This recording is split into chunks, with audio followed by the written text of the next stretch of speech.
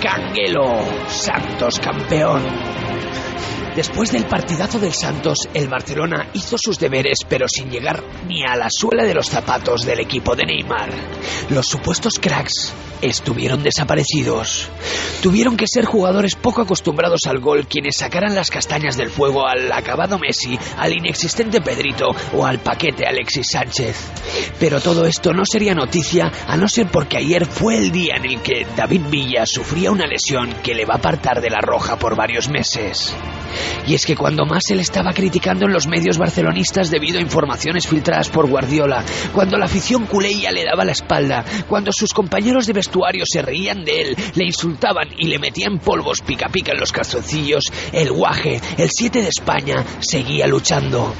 Pero el esfuerzo no servía de nada, su espíritu luchador no podía contra las adversidades. Primero le anularon un gol reivindicativo por fuera de juego y luego tenía la mala pata de romperse la tibia.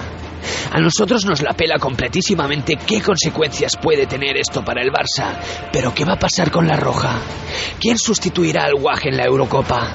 Deberíamos hacer un acto de reflexión y plantearnos muy seriamente si la loca Meacolonias, en su avaricia sin límites, puede ir usando a los hombres de nuestra selección para campeonatos banales como el Mundialito de Clubes. Un campeonato que además de entorpecer y alterar la agenda de partidos de nuestra liga, está amañado de antemano con el fin de aumentar el número de trofeos en las vitrinas culés para que el Barcemierdas pueda recortar un poco la amplísima diferencia de copas que tiene con el que realmente es el mejor club del mundo. Podemos llegar a comprender que esta competición sea la oportunidad ideal para que Rosei se aproveche y se haga el encontradizo con Neymar en Japón para intentar seducirle de que vaya al Barcelona en vez de al Madrid. También podemos entender que Rosell, debido a su mala relación con Guardiola, quiera simular un accidente envenenando al técnico con un plato de pez globo venenoso mal cortado adrede y así quitárselo de encima. Pero no podemos tolerar que unos provincianos jueguen con las ilusiones de todo un país.